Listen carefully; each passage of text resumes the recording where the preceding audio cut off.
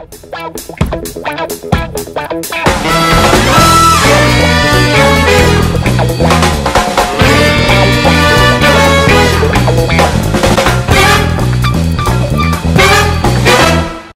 morning, Southwest Lawrence Elementary. Today is Monday, November 29th, 2021. We're just coming back from a wonderful Thanksgiving break. We hope you enjoyed that special time with family and friends. We're happy to have you back at the greatest little on the planet. At this time, let's pause for a moment of silence to reflect upon the anticipated activities of today.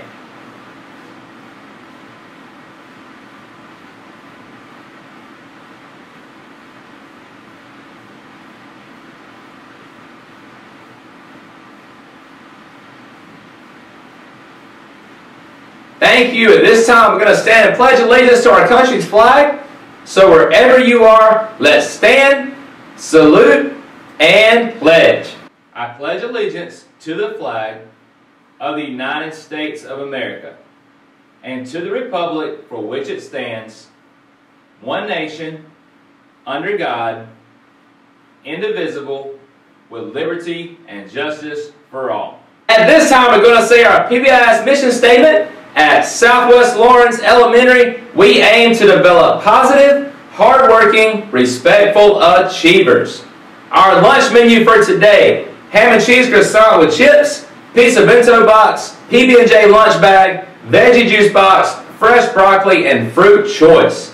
So our birthdays, now there's a lot of birthdays to celebrate, but we will make sure we didn't miss anybody over the break. So on Sunday, November 21st, Miss Sloan Tanner. Monday, November 22nd, Gary Grover, Ali Shea, Balaam Wheelhouse, and Kesia Williams. Tuesday, November 23rd, Mr. Colton Barbie.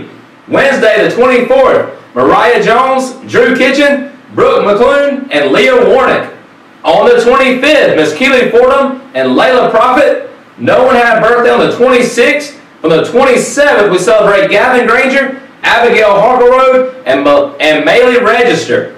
And on yesterday, Sunday, the 28th, was Jada Howell, Amari Spearman, and Caleb Wilburn. And today, we do not have any birthdays. So, we hope you all had a wonderful time celebrating all of your birthdays over the break. Don't forget a reminder, our word this month is contentment, right? And being okay with what you have, realizing how blessed we are. But at this time, as usual, I'm going to turn it over for our month of November, our Thankful Thought series. I'm going to turn over to some of our boys and girls and what they're thankful for. And I'll be right back here in just a moment. My name is Grayson, and I'm thankful for my family um, and cousins, and I'm thankful for God and Jesus. My name is Easton, and I'm thankful for my my sister and my mama. My name is Tasha, and I'm thankful for going to Disney World. My name is Lacey, and I'm thankful for my brothers. My name is John, and I'm thankful for school. Thank you so much for that, boys and girls. Now, boys and girls, don't forget, again, our animal this month is the koala, right? Now, some more fun facts for you. So, did you know in Queensland, koalas are tracked and counted by drones carrying infrared cameras? That's how they track the koalas and actually count them and follow them and track them by infrared cameras and drones. Also, another fun fact, a full-grown koala is 25,000 times heavier than its birth weight. It's the size of a jelly bean when it's born. How cool is that? So raise your hand if you ever had a jelly bean. Had a jelly bean before? So that jelly bean is the size of a koala when it's a baby. Isn't that crazy?